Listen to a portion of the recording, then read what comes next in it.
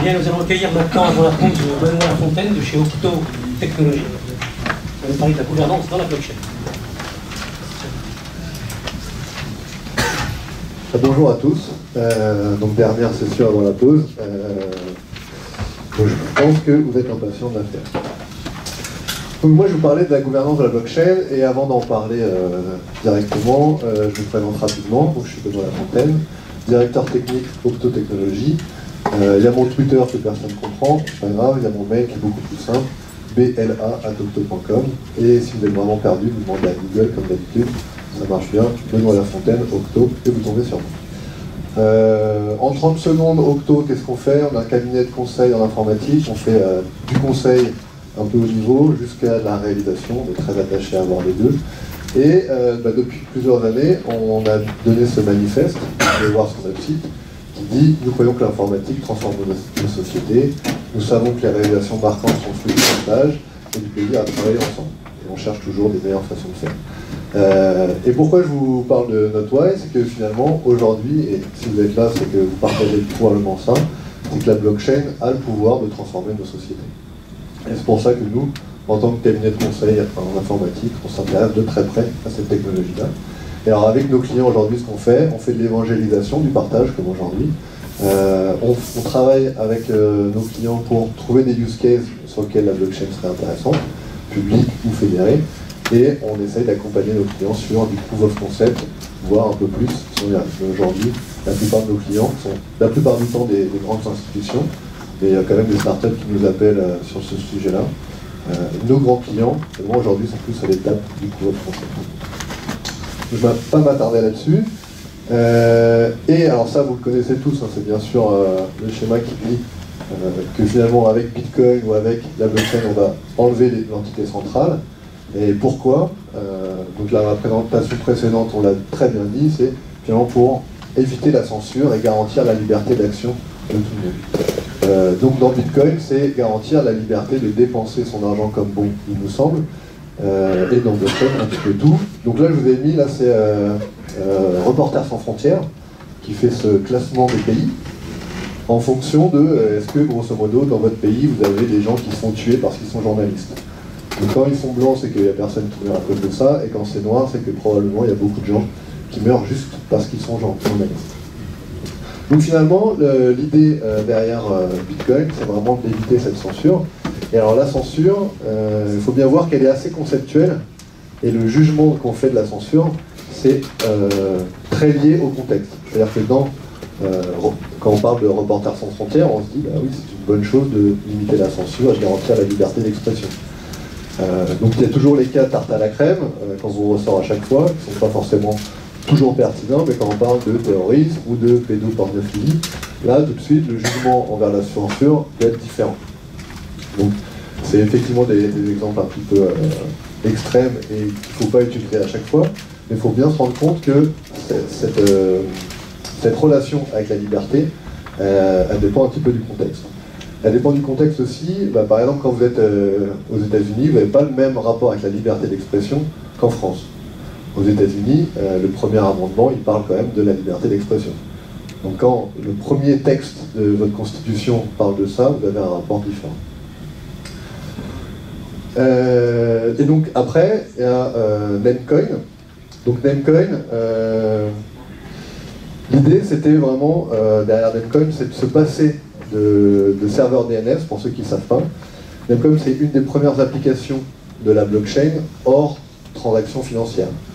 Et donc l'idée derrière Namecoin, c'est de se dire, il y a des serveurs qui contrôlent un petit peu euh, où sont placés les serveurs. Donc un serveur DNS, ça fait quoi? Ça met en relation une adresse, www.google.com, avec finalement des serveurs, une adresse IP, pour, savoir où sont les, serveurs. Donc si vous contrôlez ça, comme en Chine par exemple, vous contrôlez un petit peu ce que vous voyez d'Internet, vous êtes en capacité de mettre des proxys, de faire de la censure, par exemple de dire bah, tel site personne n'a le droit d'y aller, ou de filtrer pour voir euh, ce qui se passe et, euh, filtrer le réseau. Euh, donc Namecoin, c'est l'application qui contrôle ça sur la blockchain. Donc au début, la première fois que j'ai vu ça, je me disais bah ouais super, c'est génial. Mais il y a un petit problème, bah, finalement c'est ce qu'il y a là-haut, le cybersquattage. C'est-à-dire qu'aujourd'hui, si vous essayez d'acheter un nom de domaine, si avez, et surtout si vous avez une grosse marque, Nike, Apple, etc. Bon, bah, bon courage pour l'avoir. Il y a forcément des petits malins qui ont été chercher ces, ces, noms de domaine et qui ne les utilisent pas du tout, mais qui attendent que quelqu'un vienne réclamer ce nom de domaine pour pouvoir se faire un petit peu d'argent. Et ça, donc tout à l'heure on parlait des lois, ça c'est quelque chose qui est réprimandé par la loi française, américaine, en tout cas, on se dit que c'est quelque chose qui n'est pas légitime. Et donc, il y a une, entité centrale aujourd'hui, euh, dans, les noms DNS d'habitude, qui peut vous aider à récupérer vos nom de domaine si vous prouvez que c'est bien vous et qu'il y a une personne qui essaie de s'enrichir de façon illicite. Donc les premières applications euh, hors transaction financière euh, sont passées. Et donc après, on parle de finalement Ethereum parce que c'est quand même le, gros sujet à la mode. Ethereum, le mois dernier, vont, euh, lâcher leur dernière release, Homestead. Ils vont, à ce sujet-là, changer de, site web. Et on peut voir directement Build Unstoppable Application. Donc ça veut dire quoi? C'est-à-dire que dès que vous avez une application sur Ethereum, bah, il est impossible de, l'enlever, comme on l'a dit tout à l'heure. Et donc ça, ça veut dire quoi? Ça veut dire que s'il y a un programme dans la blockchain qui, euh, qui vous fait du mal, ça va être très compliqué de l'enlever. Donc tout à l'heure, euh, on a parlé de la loi. c'est une bonne nouvelle, il y a des lois qui existent, il y a des lois qui sont applicables même avec le droit français. ça, c'est une bonne nouvelle. Donc si, imaginons qu'il y a un programme qui me fait du mal, je peux demander au tribunal ok, de m'aider. Alors ce tribunal, il va avoir plusieurs problèmes. Déjà, savoir si le droit s'applique vraiment. Euh, S'il dit qu'effectivement je suis dans mon droit et que j'ai besoin de réparation, il va falloir qu'il trouve la personne. Euh, donc il y a des moyens, effectivement on l'a vu aussi tout à l'heure, mais euh, sur un système de pseudonymat, ça va être assez compliqué de le retrouver. Bon, par chance, on va dire qu'il l'a retrouvé, et qu'ils euh, ont le droit de l'emprisonner, et de lui demander les fonds. Alors soit il a les fonds, c'est bien, et encore une fois on l'a dit tout à l'heure, s'il n'a pas les fonds, bah, c'est un peu pour ma pomme. Ok, par chance on, me redonne mon argent, et on dit que cette personne doit aller en prison. Ok, on, la met en prison. Mais et un gros problème, c'est que ce programme qui m'a fait du mal, bah, il est toujours sur cette plateforme. Et si dans Ethereum, ils n'ont pas. Euh, enfin, si la personne qui a fait ce programme n'a pas prévu la fonction suicide d'Ethereum pour supprimer le programme, bah, ce programme-là, il sera ad vitam Ethereum sur, euh, sur Ethereum. Donc potentiellement, il fait du mal à, d'autres personnes comme moi. Et, si à un moment donné, on se dit, bah oui, peut-être que c'est pas terrible, si à un moment donné, on essaie d'avoir une entité centrale qui vient réguler et qui aurait le pouvoir d'enlever, ben, on casse tout de suite la, promesse d'Ethereum, on recentralise, mais ce qu'il n'y a pas du tout. Donc, on a ces, petits soucis. Donc, on parlait de schéma de Ponzi tout à l'heure. Euh, effectivement, le schéma de Ponzi, c'est quelque chose, encore une fois, qui est réprimandable et réprimandé par la loi française, États-Unis. Euh, exemple dernièrement, c'est quand même Madoff. Et on peut se dire, bah, on aimerait bien que des gens comme Madoff ne puissent pas, euh, ne puissent pas faire ce qu'ils font. Or, euh, on l'a évoqué aussi tout à l'heure, donc ça c'est la liste des applications qui sont listées hein, sur, euh, un site qui s'occupe un petit peu de la, partie Ethereum. Donc il y a à peu près 200 applications listées. Au passage, on est quand même dans un monde aujourd'hui où on arrive à lister les applications à la main. Manuellement, on n'a pas besoin d'un Google pour lister toutes les applications. On est quand même dans un monde qui, est en, pleine construction. Toujours est-il que là, là-haut, en vert super flashy, c'est les applications qui sont dites en production sur Ethereum. Et ce que j'ai marqué en croix, c'est les schémas de Ponzi. Donc là, sur 40, il y en a à peu près 7. Donc il y a 20% des applications aujourd'hui qui sont des schémas de Ponzi. Alors c'est pas très inquiétant parce que c'était, je pense, quelque chose de assez simple à coder et qui permet de démontrer euh, une certaine valeur. Euh, en tout cas, la faisabilité de certaines choses. Donc à mon avis, c'est plus des tests. Je pense qu'il y en a 2-3 qui se disent, bah, si au passage je me fais un peu d'argent, euh, c'est pas plus mal.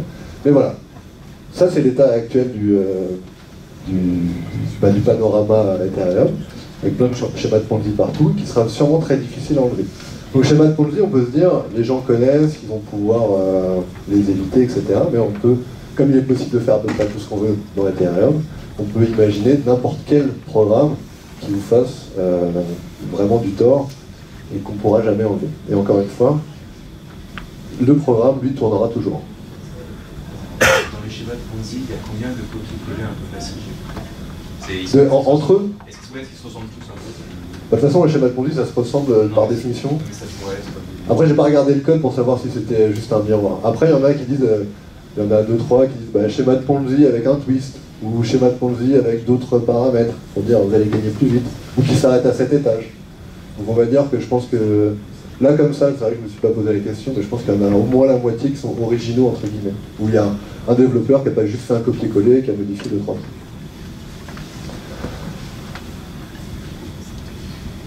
Donc ça tombe bien, on a le code euh, civil des Français qui est applicable, ça c'est une bonne, euh, bonne, chose.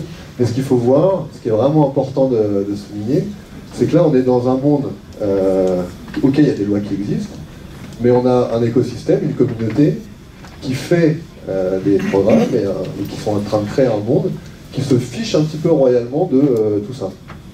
Alors que bah, personnellement, je me dis si on a fait ça, alors je suis peut-être optimiste sur la, sur la qualité humaine, mais je pense que si on a passé pas mal de temps à écrire ça, c'est qu'il y avait plutôt des bonnes raisons. Autre chose aussi à souligner, c'est que, bon déjà ça c'est assez vieux, c'est 1804 hein, le code civil, c'est le code Bonaparte, et avant il y avait déjà des lois, c'est-à-dire qu'on les a pas créées en 1804, il y avait déjà des lois, des tribunaux qui marchaient, et ces tribunaux se fonctionnaient beaucoup sur la jurisprudence. Et comme la plupart des lois, euh, ils sont créés a posteriori. Donc il faut aussi pas trop s'étonner qu'il euh, y ait des zones d'ombre un petit peu dans la loi. Alors peut-être qu'il y a des choses qui s'appliquent, peut-être qu'il y a des choses qui sont mal adaptées ou qui ne s'appliquent pas. Mais en tout cas, euh, ça c'est assez logique parce que quand on ne connaît pas, il est impossible de faire des lois. Euh, et c'est assez logique aussi qu'il y ait des gens qui se disent bah, tant pis pour les lois, on va avancer puis on verra après. De toute façon, c'est comme ça que ça marche et c'est comme ça que on va toujours fonctionner. Donc si finalement les, lois euh, ne sont pas faites par les textes mais par, par des programmes, en fait on a quelqu'un qui a réfléchi à ça depuis assez longtemps, Laurence Lessig, qui en. ça c'est un article de 2000. Donc en 2000, il a créé un, enfin il a écrit un blog post qui s'appelle Code is law, qui dit que finalement le code c'est la loi. Alors de quoi il parle euh, là-dedans? Alors vraiment vous le retrouvez Code Isolo de Lessig, c'est assez court, ça se lit très vite. Il y a même une version française, je vous invite vraiment à la lire, parce que là on, reproduit un petit peu ce qui s'est passé là. Donc lui il parle du web, de, de l'internet, euh, mais on, vous faites un parallèle très très rapide avec la blockchain aujourd'hui. Alors qu'est-ce qu'il dit? Il dit que ben, euh, aujourd'hui, enfin en tout cas en 2000, le Internet était un espace de liberté, sur lequel on pouvait parler librement, sur lequel on pouvait communiquer avec n'importe qui, on pouvait faire à peu près ce qu'on veut. Et il y a euh, dans la communauté des gens qui s'émeuvent, s'émouvaient, je sais pas, vraiment qui étaient très euh, préoccupés par le fait que euh, cet espace de liberté, potentiellement, il allait disparaître, que ça allait être régulé, qu'il euh, y a peut-être des, puissances multinationales qui allaient s'emparer de la chose, et que ce serait plus comme avant.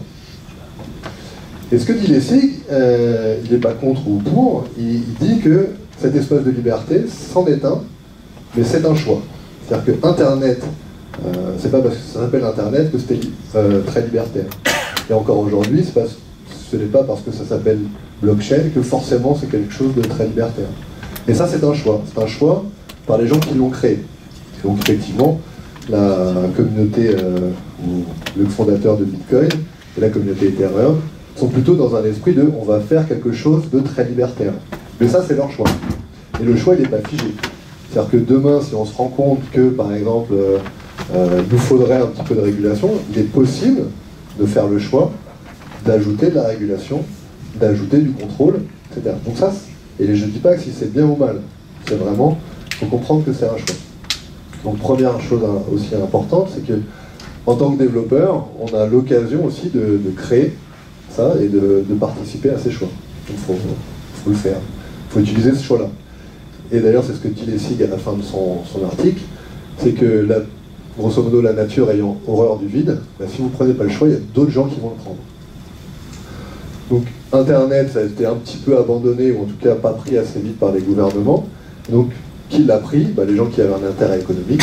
Aujourd'hui, Google, euh, Amazon, Apple, etc. Donc aujourd'hui, c'est eux qui ont fait leurs propres lois et qui les ont surtout utilisées pour leur, pour leur profit. Il n'est pas du tout dit que euh, la blockchain, la technologie blockchain arrive euh, à la même manipulation, si on en tout cas, euh, la même utilisation. Donc si le code c'est loi, qui finalement contrôle le code? Dans Bitcoin, on se pose la question qui contrôle le code? Donc c'est un Bitcoin et Ethereum, et etc. Et beaucoup est open source. On peut se dire c'est les développeurs qui contrôlent. Donc dans Bitcoin, on voit bien euh, depuis euh, un an et demi là que c'est pas tout à fait les développeurs qui contrôlent. Euh, les développeurs, eux, aujourd'hui, font du code, le poussent, et finalement, qui est-ce qui décide de l'utiliser ou pas? Bah, C'est ceux qui font que le réseau Bitcoin marche, c'est-à-dire les mineurs. Et les mineurs, donc c'est eux qui font tourner, sans mineurs, pas de Bitcoin. Et donc c'est une hachocratie. Celui qui, qui, possède le plus de hash, il décide de l'avenir de Bitcoin en tant que développeur de la communauté Bitcoin, vous pouvez forcément essayer d'influencer euh, les gens, vous pouvez proposer des choses, mais à la fin, c'est quand même eux qui, euh, ont ce pouvoir de l'utiliser ou non. Et ça, c'est une différence d'ailleurs avec les communautés open source, par exemple Linux, ou Linux, si vous dites par exemple que OpenSSL, c'est pas, pas terrible, rien ne vous empêche de forker Linux, de forker OpenSSL, de faire votre propre euh, système d'exploitation, l'utiliser, vous êtes super plus sécure que les autres et vous vivez très bien. Quand vous faites euh, forcément euh, avec Bitcoin, si vous forquez et que vous êtes tout seul à utiliser Bitcoin, ça ne sert pas à grand chose. Donc on a cet effet euh, de réseau sur lequel on va revenir, et cette achocratie qui donne le pouvoir aux mineurs. A noter qu'Ethereum est basé sur la même fonction, même s'ils vont passer en proof of stake, c'est un petit peu la même chose. Au final, c'est ceux qui font tourner le réseau qui ont le pouvoir. Différence d'Ethereum par rapport à Bitcoin aujourd'hui, c'est qu'Ethereum, ils ont quand même une communauté euh, assez euh, restreinte de gens qui tirent euh, Ethereum, alors que Bitcoin, la communauté est beaucoup plus dispatchée. Et il y a aussi un leader, Vitalik, qui lui donne la vision. Et avec d'autres systèmes open source, donc si vous regardez les écosystèmes open source, c'est toujours bien d'avoir quelqu'un qui donne une vision vers le monde. Même si les choses sont ouvertes, il y a des choses démocratiques ou des votes ouverts, c'est toujours mieux d'avoir un leader qui donne la direction parce que lui, on l'écoute. Et typiquement, si euh, Satoshi Nakamoto euh, aujourd'hui euh, arrivait, je pense que ça résoudrait pas mal de choses si lui avait une vision quelque part. Lui ou eux, on ne sait pas trop. Mais. Parce que c'est vrai que sur. je ne sais pas si vous avez suivi tous ce qui s'est passé dans Bitcoin depuis un an et demi, un peu plus. C'est qu'il y a toujours cette question de taille de bloc qui, grosso modo, la grosse majorité des gens qui parlent de Bitcoin euh, s'accordent à dire que ce serait quand même intéressant de monter cette taille de bloc. Il y a quelques-uns qui ne pensent pas, mais euh, ils sont assez minoritaires. Tout le monde s'accorde à dire qu'il faut le faire, mais pourtant on n'y arrive pas. On n'y arrive pas, pourquoi? Parce qu'il y a plusieurs communautés qui se tirent un petit peu dans les pattes, qui n'arrivent pas à s'accorder sur l'implémentation elle-même, et donc on n'avance pas. Et euh, chose intéressante, c'est qu'on parle de, pour le coup de censure sur des réseaux sociaux, voire de DDoS, de Denial of Service, généralisé sur ces communautés-là. Donc c'est intéressant de voir des communautés qui disent bah ouais on va être libertaire, on va éviter la censure. Derrière, c'est quand même des hommes qui, eux, bah, potentiellement font la même chose à côté. Alors la hachocratie, c'est pas pas les mêmes, euh, enfin c'est pas la seule alternative qu'on ait dans les crypto-monnaies. Il y a des gens comme Dash qui sont euh, qui sont intéressés justement à ce, problème de comment est-ce qu'on fait évoluer la communauté, comment est-ce qu'on fait évoluer notre monnaie. Alors Dash, pour euh, ceux qui ne connaissent pas, avant ça s'appelait euh, Darkcoin. Euh, donc ils sont très attachés à la notion de vie privée, ces gens-là. Ils ont bien fait, je pense, de changer de nom, parce que Darkcoin, d'un point de vue commercial, c'est pas terrible. Et donc ils s'appellent Dash pour Digital Cash. Donc ils disent, ouais, on est super anonyme, c'est bien. Et surtout, ils sont, ils sont intéressés à cette gouvernance, à cette problématique de gouvernance. Et eux, ils ont une sorte de contre-pouvoir des mineurs. Il y a toujours les mineurs, c'est toujours du proof of euh, work, avec un, algo différent, mais c'est pas grave. Mais à côté, ils ont euh, d'autres réseaux, qu'ils appellent des masternodes, qui font des choses, typiquement qui sont là pour, pour, faire des, pour vous aider à avoir des transactions anonymes, parce qu'ils sont très attachés à ça. Euh, donc ces masternodes vous aident à faire ça, vous aident aussi à faire des transactions instantanées. et donc ils ont ce proof of service, donc on a des masternodes qui doivent faire des choses. Et pour les inciter à faire des choses, à faire, que le réseau marche bien, il leur donne une partie euh, du minage, donc les mineurs minent, et redistribuent un petit peu à tous ces masternodes. Et les masternodes, pourquoi, comment ils sont choisis C'est que c'est des gens qui ont mis 1000 dash, donc environ 6000 euros aujourd'hui, euh, en déposit, et s'ils ne font pas bien leur service, on leur enlève leur déposit. Donc on a cette, euh, ce contre-pouvoir mineur masternode. Donc un autre une autre façon de faire. Autre façon de faire aussi, BitShare, qui eux, c'est du Delegated Proof of Stake. Donc ils sont plus dans le minage, ils se disent bah, finalement vous avez un BitShare, vous avez une voix, vous en avez 10 000, vous avez 10 000 voix, plus vous avez de BitShare, plus vous êtes intéressé que ça ne se casse pas la gueule, et donc vous allez faire des choses bien pour la communauté. Euh, pourquoi delegated C'est qu'ils se disent si tout le monde vote, c'est une cacophonie infernale, ça marche pas. Donc du coup, vous allez voter pour donc, des élus, 101 exactement, vous allez voter pour ces 101 élus qui vont faire la partie de minage, donc qui vont s'accorder sur les blocs, et qui aussi vont décider de euh, comment évolue le réseau. Donc on voit qu'on n'a pas la hachocratie, n'est pas la seule façon de faire, on a d'autres alternatives. Euh, on a d'autres alternatives, alors ça, on a parlé tout à l'heure, il y a à peu près 750 crypto-monnaies, donc tous ne, parlent pas de gouvernance, euh, mais tous, toutes, sont sûrement légèrement supérieurs à Bitcoin sur un point, et Bitcoin est potentiellement une des plus pourries techniquement, en fait, on va dire. Mais pourtant, euh, bah, c'est la seule en production aujourd'hui. En production, c'est la seule qui, euh, sur laquelle on peut compter pendant encore, euh, j'espère, quelques années. On, verra peut-être avec le halving qui va peut-être tout casser. Mais, potentiellement, vu qu'il y a beaucoup de gens qui ont de l'argent dedans, c'est quand même celle qui sera là encore, qui est très pérenne. Pourquoi? Bah, Il y a l'effet de réseau. Hein.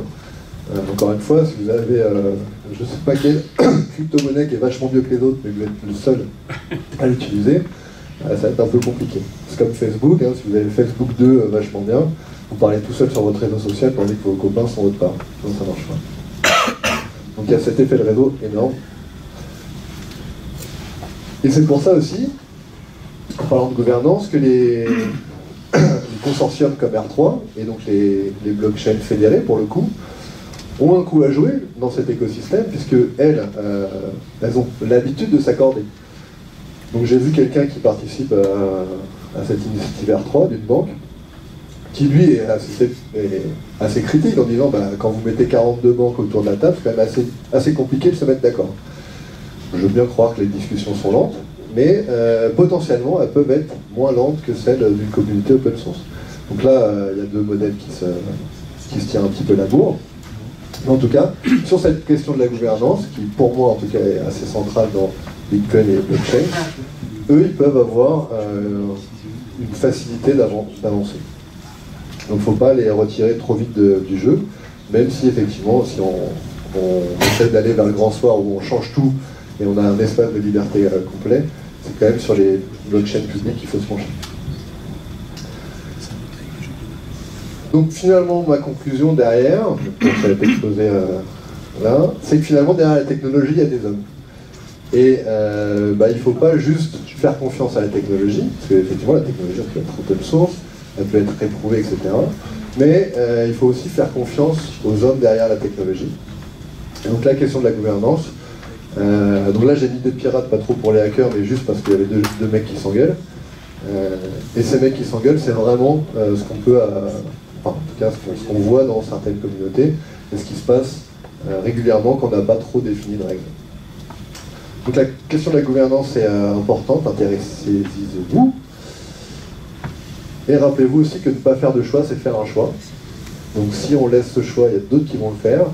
Et encore une fois, c'est votre choix de le faire ou non. Je vous remercie pour votre attention. Euh,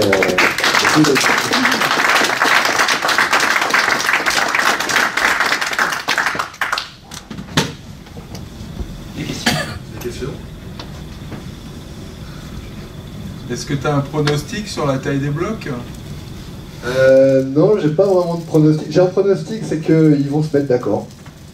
Un moment, euh, même si voilà, depuis quelques mois c'était un peu le bordel, mais euh, je pense qu'ils vont se mettre d'accord. les mineurs ayant beaucoup d'argent à perdre, à un moment ils vont le faire. après j'ai des préférences.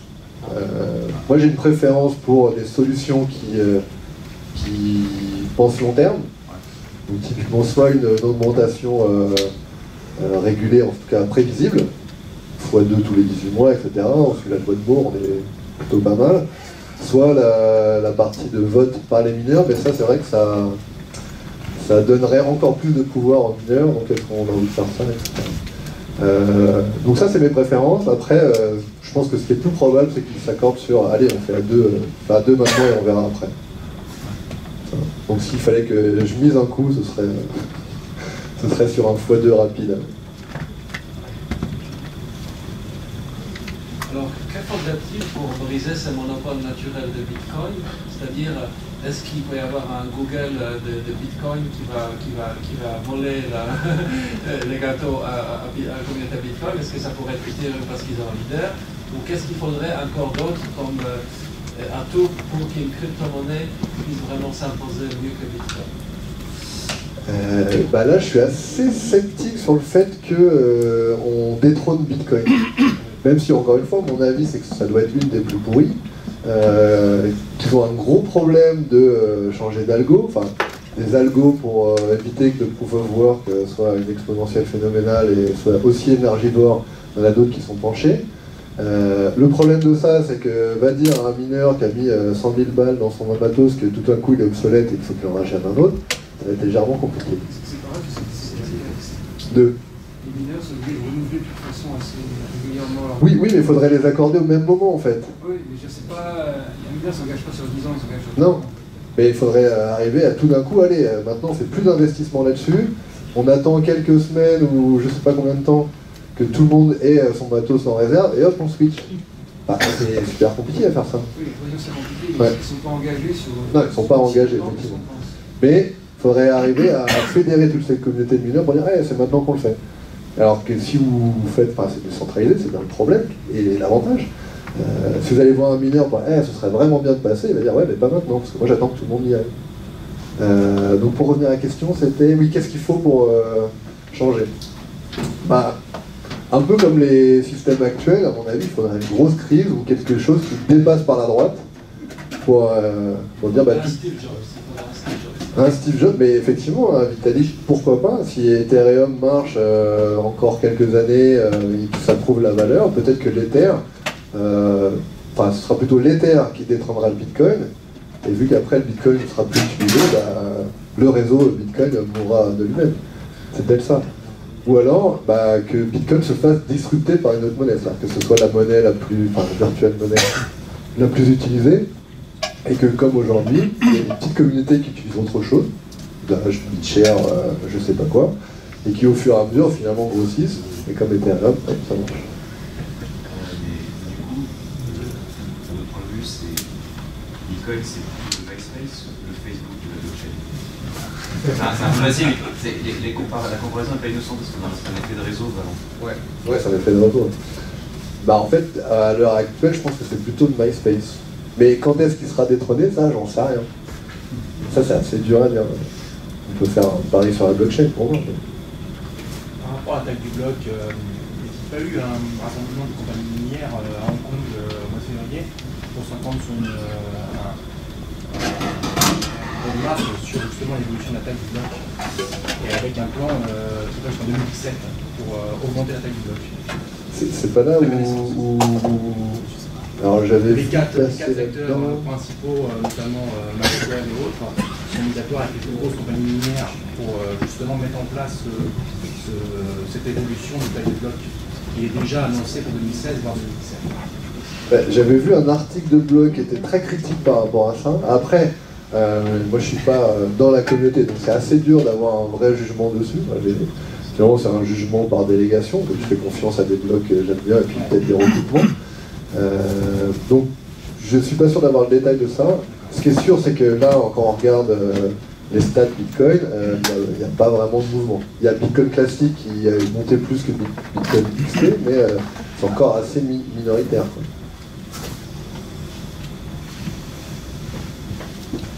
Je vous propose de passer à la pause. Merci beaucoup.